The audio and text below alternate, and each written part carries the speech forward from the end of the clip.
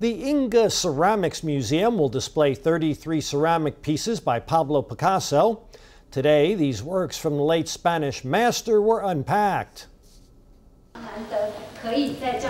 This wooden crate is moved cautiously, and upon opening it, there is another paper carton. Inside is very fragile ceramic artwork wrapped in yet another layer of protective foam. At long last, museum staff wearing gloves display Picasso's ceramic works.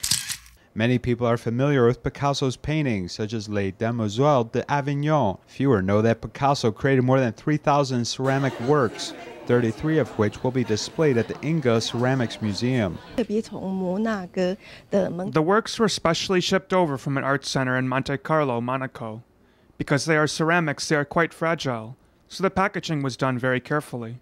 Shipping these works to Taiwan does not come without risks and costs, as the museum had to pay insurance premiums of 10 million NT dollars.